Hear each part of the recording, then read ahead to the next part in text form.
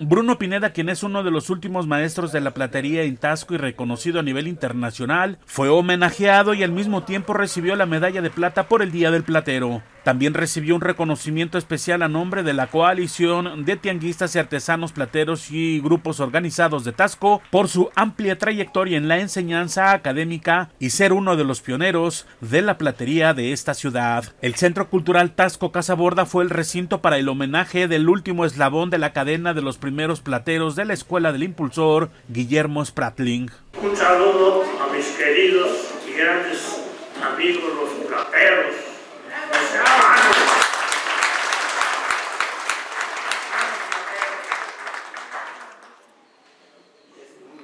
es un gran honor recibir este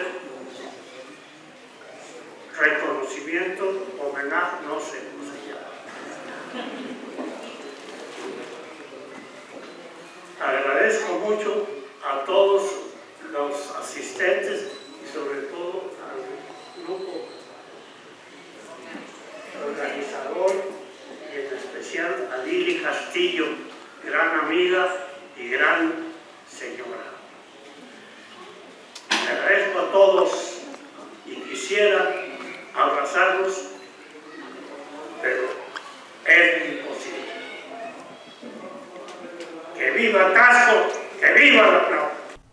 En este homenaje también se hizo entrega de algunos reconocimientos a plateros que participaron en el 90 concurso del Día del Platero. RTG Noticias, Raimundo Ruiz.